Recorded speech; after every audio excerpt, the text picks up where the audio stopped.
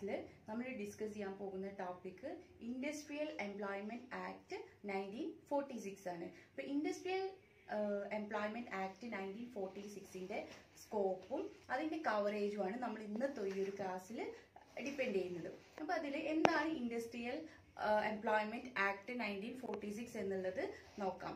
Industrial employment act nineteen forty six എന്ന് പറഞ്ഞിട്ടുണ്ടെങ്കിൽ ഈ ഒരു ആക്ടിന്റെ പ്രധാനമായിട്ടുള്ള പർപ്പസ് എന്ന് പറയുകയാണെങ്കിൽ ഇക്കണോമിക് ആയിട്ടുള്ള സ്റ്റെബിലിറ്റി ഉണ്ടാക്കുക എന്നുള്ളതാണ്.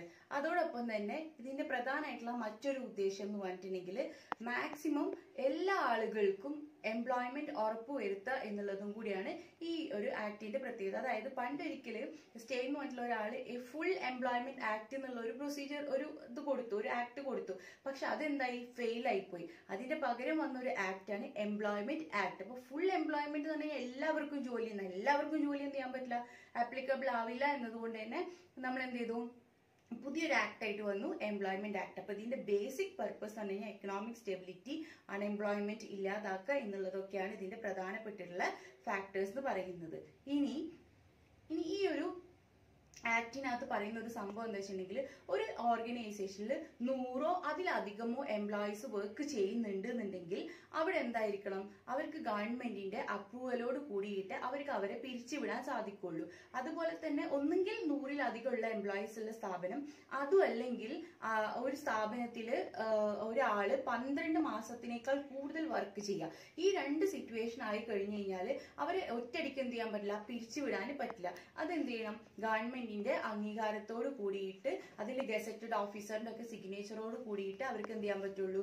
ആ ആളെ പിരിച്ചുവിടാൻ പറ്റുള്ളൂ. അങ്ങനെ പിരിച്ചു വിടുകയാണെങ്കിൽ തന്നെ അതിൽ ഗസറ്റഡ് ഓഫീസറിന്റെ സൈൻ ഉണ്ടായിരിക്കണം. അതിനൊക്കെ പുറമെ രണ്ട് മാസം മുൻപേ പറയും വേണം. അപ്പൊ പലതരത്തിലുള്ള ഡിസ്ക്രിമിനേഷനും പ്രോബ്ലംസ് ഒക്കെ ഉള്ളത് കൊണ്ടാണ് ഇത്തരത്തിലുള്ള പ്രശ്നങ്ങൾ ഉണ്ടാകുന്നത് അപ്പം ഈ ഒരു പ്രശ്നം ഒഴിവാക്കാൻ വേണ്ടിയിട്ടാണ് മുൻകൂട്ടിയിട്ട് എന്തിനാണ് അവരെ പിരിച്ചുവിടുന്നത് എന്നുള്ള കാര്യകാരണങ്ങൾ വരെ കാണിച്ചുകൊണ്ട് മാത്രമേ എന്ത് ചെയ്യാൻ പറ്റുള്ളൂ?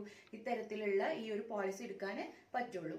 ഇനി നമുക്ക് നെക്സ്റ്റ് നോക്കാനുള്ളത് ഈ ഒരു ഇതിനകത്ത് എന്തൊക്കെ സ്കോപ്പ് വരുന്നു എന്നുള്ളതാണ് നോക്കേണ്ടത്. അപ്പൊ ആദ്യത്തെ എസ്റ്റാബ്ലിഷ്മെന്റ് കവേഴ്സിനകത്ത് വരുന്നത് നേരത്തെ ഞാൻ പറഞ്ഞ സെയിം സെക്ഷൻ തന്നെയാണ് വരുന്നത്. സെക്ഷൻ തേർട്ടീനിൽ പറയുന്നത് നൂറോ അതിലധികമോ ആളുകളോ അതല്ലെങ്കിൽ ഒരു സ്ഥാപനത്തിൽ പന്ത്രണ്ട് ദിവസത്തിൽ കൂടുതൽ വർക്ക് ചെയ്തിട്ടുള്ള ആളുകൾക്ക് കിട്ടേണ്ട ആനുകൂല്യങ്ങളാണ് ഈ ഒരു സെക്ഷനകത്ത് പറയുന്നത്. രണ്ടാമത്തതാണ് ഇൻഡസ്ട്രിയൽ കവേഴ്സ് ഇൻഡസ്ട്രിയൽ കവേഴ്സിനകത്ത് പറയുന്നത് ഈ ഒരു സെക്ഷൻ ടൂലാണ് ഇത് എക്സ്പ്ലെയിൻ ചെയ്തിട്ടുള്ളത്. ഈ ഒരു ടൂ സെക്ഷൻ ടൂവിനകത്ത് ഈ ഒരു ഇത് കവർ ചെയ്ത് വന്നിട്ടില്ല എന്ന് വെച്ചിട്ടുണ്ടെങ്കിൽ വേജസിനെ കുറിച്ചിട്ടാണ്. ഇൻഡസ്ട്രിയിൽ വർക്ക് ചെയ്യുന്ന ആളുകൾക്ക് എത്തരത്തിലുള്ള വേജസ് ആണ് കൊടുക്കേണ്ടത് എന്നുള്ളതാണ് രണ്ടാമത്തെ കവറിംഗ് ആയിട്ടുള്ള ഇൻഡസ്ട്രിയൽ കവേഴ്സിനകത്ത് പറയുന്നത്. ഒരു ഇൻഡസ്ട്രിയൽ എസ്റ്റാബ്ലിഷ്മെന്റിന്റെ അകത്ത് ഈ ഇൻഡസ്ട്രിയൽ എസ്റ്റാബ്ലിഷ്മെന്റ് കവേഴ്സിനകത്ത് പ്രധാനമായിട്ട് ഒമ്പത് കാര്യങ്ങളാണ് കവർ ചെയ്യുന്നത്. അത് ഏതൊക്കെയാന്നുള്ളത് നോക്കാം. ഫസ്റ്റ് വൺ ആണ് മോട്ടോർ ട്രാൻസ്പോർട്ട് സർവീസസ് ഒക്കെ എന്ത് ചെയ്യുക പ്രൊവൈഡ് ചെയ്യുക രണ്ടാമത്തത് എയർ ട്രാൻസ്പോർട്ട് സർവീസ് പ്രൊവൈഡ് ചെയ്യുക മൂന്നാമത്തത് ജെട്ടി അല്ലെങ്കിൽ ഡോക്ക് സർവീസ് ഒക്കെ പ്രൊവൈഡ് ചെയ്യുക നാലാമത്തത് ഇൻലാൻഡ് സർവീസസ് ഒക്കെ പ്രൊവൈഡ് ചെയ്യുക അഞ്ചാമത്തത് മൈൻ അല്ലെങ്കിൽ കോറി ഫീൽഡ് ഓയിൽ ഫീൽഡിലൊക്കെ പ്രൊവൈഡ് ചെയ്യുക ആറാമത്തത് പ്ലാന്റേഷനിൽ സർവീസ് പ്രൊവൈഡ് ചെയ്യുക ഏഴാമത്തത് വർക്ക്ഷോപ്പ് അല്ലെങ്കിൽ മറ്റുള്ള എസ്റ്റാബ്ലിഷ്മെന്റിലുള്ള ആർട്ടിക്കിൾസ് അത്തരത്തിലുള്ള ട്രാൻസ്പോർട്ടേഷനും കാര്യങ്ങൾക്കൊക്കെ വേണ്ടിയിട്ടുള്ള സർവീസസ് പ്രൊവൈഡ് ചെയ്യുക. ഇനി എട്ടാമത്തത് വരുന്നത് എന്തെങ്കിലും കൺസ്ട്രക്ഷൻ അല്ലെങ്കിൽ ബ്രിഡ്ജ് റോഡ് ഇത്തരത്തിലുള്ള കൺസ്ട്രക്ഷൻ റിലേറ്റഡ് ആയിട്ടുള്ള എസ്റ്റാബ്ലിഷ്മെന്റ് വർക്ക്സ് ഒക്കെ ചെയ്യുമ്പോൾ അതുമായി ബന്ധപ്പെട്ടിട്ടുള്ള സാലറി മറ്റുള്ള കാര്യങ്ങൾ അതിന്റെ വാട്ടർ സപ്ലൈ അതിന്റെ നാവിഗേഷൻ ഇറിഗേഷൻ ഇത് റിലേറ്റ് ചെയ്തിട്ടുള്ള കാര്യങ്ങളൊക്കെയാണ് എട്ടാമത്തത് വരുന്നത്. ഒമ്പതാമത്തിൽ വരുന്നത് payment of wage act section two പ്രകാരം മറ്റുള്ള ഇൻഡസ്ട്രിയൽ അല്ലാത്ത മറ്റുള്ള സ്ഥലങ്ങളിലൊക്കെ എങ്ങനെയാണ് വേജസ് കൊടുക്കുക എന്നുള്ളതാണ് ഒമ്പതാമത്തതായിട്ട് പറയുന്നത്. അപ്പൊ ഇതൊക്കെയാണ് സ്കോപ്പിൽ വരുന്നത്. ഇനി നെക്സ്റ്റ് നമുക്ക് പറയാനുള്ളത് വർക്കേഴ്സിന് എങ്ങനെയൊക്കെ ഏതൊക്കെ തരത്തിലാണ് കവർ ചെയ്യുന്നത് എന്നുള്ളതിനെ കുറിച്ചിട്ടാണ്. അപ്പോൾ ഈ ഒരു ഇതിലെ ഫസ്റ്റ് ടോപ്പിക് നമ്മളിപ്പോൾ പറഞ്ഞത് ഇൻഡസ്ട്രി റിലേറ്റഡ് ആയിട്ടുള്ള കാര്യങ്ങൾ. ഇനി നെക്സ്റ്റ് വർക്കേഴ്സ് ഏതൊക്കെ ഏരിയാസിലാണ് കവർ ചെയ്യേണ്ടത് എന്നുള്ള കാര്യങ്ങളെ കുറിച്ചിട്ടാണ് പറയുന്നത്. അത് ഏതൊക്കെയാന്നുള്ള നമുക്ക് നോക്കാം. സെക്ഷൻ പറയുന്നത് രണ്ട് രണ്ട് സെക്ഷൻ ആയിട്ടാണ്. ഒന്ന് സെക്ഷൻ ടു ഐയും സെക്ഷൻ ടു ജിയും ഇങ്ങനെ രണ്ട് രീതിയിലാണ് പറഞ്ഞത്. അപ്പൊ സെക്ഷൻ ടു ഐ എന്ന് പറഞ്ഞിട്ടുണ്ടെങ്കിൽ ഓൾഡ് ആയിട്ടുള്ള ആക്ട് ആണ്. അപ്പോൾ ഈ ഒരു ഓൾഡ് ആക്ട് എന്ന് പറഞ്ഞിട്ടുണ്ടെങ്കിൽ ഇൻഡസ്ട്രിയൽ എംപ്ലോയ്മെന്റ് ആക്ട് അല്ലെങ്കിൽ standing order amendment act workman ആക്ടും കൂടിയാണ് ഇതിനകത്ത് വരുന്നത്. അപ്പൊ സെക്ഷൻ ടു ഐനകത്ത് ആദ്യത്തെ ഓർഡറാണ് വന്നിട്ടുള്ളത്. അപ്പൊ ഇത് ആദ്യം വന്നിട്ടുള്ളത് industrial dispute act nineteen seventy four പ്രകാരമൊക്കെ ആയിട്ടാണ് ഫസ്റ്റത്തെ ഒരു ആക്ട് വന്നിട്ടുള്ളത്. അപ്പം നയന്റീൻ എയ്റ്റി ടൂവിലാണ് അതുപോലെ തന്നെ ആദ്യത്തെ അമെൻമെന്റ് ആക്ട് പിന്നെ വന്നിട്ടുള്ളത്. അതിന്റെ ശേഷം വീണ്ടും ഇതൊന്നും കൂടി റൂൾസ് എല്ലാം പറയുന്നുണ്ട്. അപ്പോൾ ഈ ആക്ട് പാസ്സായിട്ടുള്ളത് നയന്റീൻ എയ്റ്റി ടൂവിനുള്ള അമെൻമെന്റ് ആക്ട് പ്രകാരം സെക്ഷൻ ടു ഐയിൽ ഫസ്റ്റ് പറയുന്നുണ്ട്. അതിന്റെ ശേഷം സെക്ഷൻ ടു ജീനകത്ത് പറയുന്നുണ്ട്. സെക്ഷൻ ടു ജീനകത്ത് പറയുന്നത് എന്താ വെച്ചിട്ടുണ്ടെങ്കിൽ ഇതേ industrial employment standing act nineteen forty six തന്നെയാണ് പറയുന്നത്. പക്ഷേ ഇതിന്റെ കുറച്ച് സ്റ്റാൻഡിങ് ഓർഡേഴ്സ് അതായത് ചില റൂൾസ് ഷെഡ്യൂൾ ചെയ്തിട്ടുണ്ട്. ആ റൂൾസുകൾ എന്തൊക്കെയാണെന്നുള്ളതാണ് പറയുന്നത്. അപ്പോൾ ടു ജിയിൽ വരുന്ന റൂൾസുകളാണ് ഇനി ഞാൻ നെക്സ്റ്റ് പറയാൻ പോകുന്ന ടോപ്പിക് അത് എന്തൊക്കെയാണെന്നുള്ള നമുക്ക് നോക്കാം. അതിൽ ഫസ്റ്റ് വൺ ആണ് നമ്മൾ ക്ലാസിഫൈ ചെയ്യുക. ക്ലാസിഫിക്കേഷൻ ഓഫ് വർക്ക്മാൻ എങ്ങനെയാണ് വർക്ക്മാനെ ക്ലാസിഫൈ ചെയ്യുക? പെർമനന്റ് ആണോ? ടെമ്പററി ആണോ? അപ്രന്റീസ് ആയിട്ടാണോ?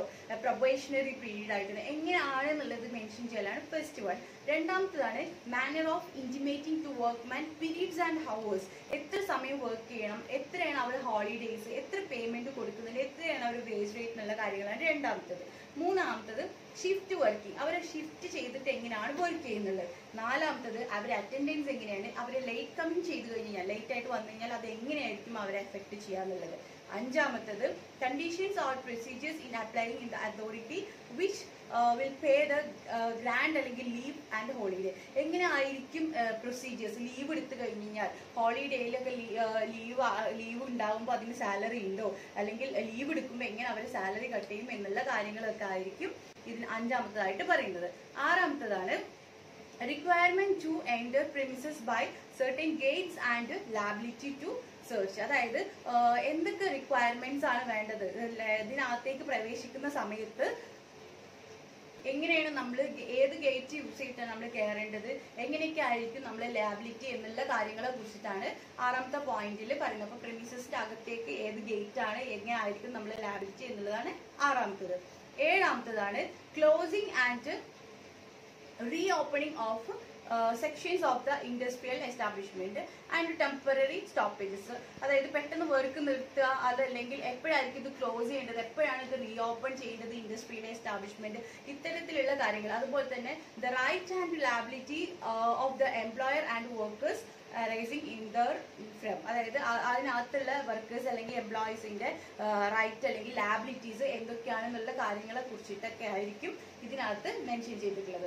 എട്ടാമത്തതാണ് എങ്ങനെയായിരിക്കും ഒരു എംപ്ലോയ്മെന്റ് ടെർമിനേഷൻ എങ്ങനെയായിരിക്കും? അപ്പൊ എങ്ങനെയാണ് നമ്മൾ എപ്പോഴാണ് നോട്ടീസ് കൊടുക്കുക എന്നുള്ള കാര്യങ്ങളൊക്കെ. ഇപ്പൊ നമ്മൾ മോശമായിട്ടുള്ള പ്രവൃത്തി ഒരു മിസ്കണ്ടക്ട് ചെയ്യാൻ മോശം പ്രവൃത്തിയൊക്കെ നമ്മൾ ചെയ്യുകയാണെങ്കിൽ ആ ഒരു സമയത്ത് എങ്ങനെയായിരിക്കും നമ്മൾ സസ്പെൻഡ് ചെയ്യുക എന്നുള്ളതാണ് അടുത്തതായിട്ട് വരുന്നത്. എങ്ങനെയായിരിക്കും എങ്ങനെയായിരിക്കും ഡിസ്മിസൽ ആക്ട് പ്രകാരം നമ്മൾ എങ്ങനെ അവർ ഡിസ്മിസ് ചെയ്യും?